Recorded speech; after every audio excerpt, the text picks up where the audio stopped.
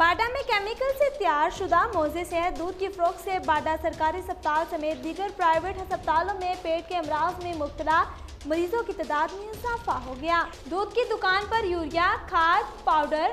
शास्ता और दीगर गंदी अशिया की मिलावट से तैयार करदा मोजे सेहत दूध की फरोख जारी है जिसके नतीजे में टाइफाइड पेशाब उल्टी दस्त काम तेजी से फैल रहा है डॉक्टरों ने मीडिया से गुफ्तगु करते हुए कहा है कि दूध में केमिकल की मिलावट से पेट के अमराज में तेजी से इजाफा हो रहा है और बड़ी तादाद में पेट के अमराज में मुबतला मरीज इलाज के लिए आ रहे हैं इन पर सिंध हुकूमत को एक्शन लेना चाहिए